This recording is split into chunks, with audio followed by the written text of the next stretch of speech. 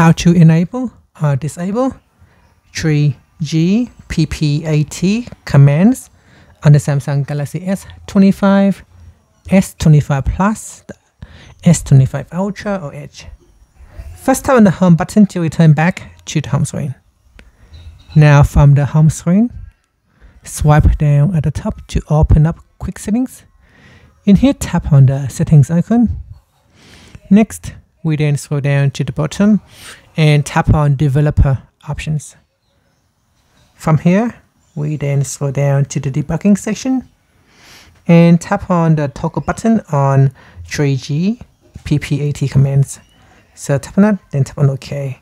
Now say you, you need to restart your phone. So here the phone will then uh, restart to activate that function.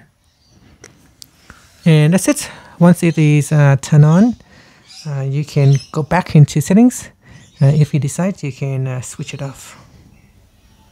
And here we are back into uh, developer options to switch it off. Here, if we turn off, again, it requires us to restart the phone. And tap on OK to complete. And that's it. If you find this video helpful, please like and subscribe to my channel for more videos.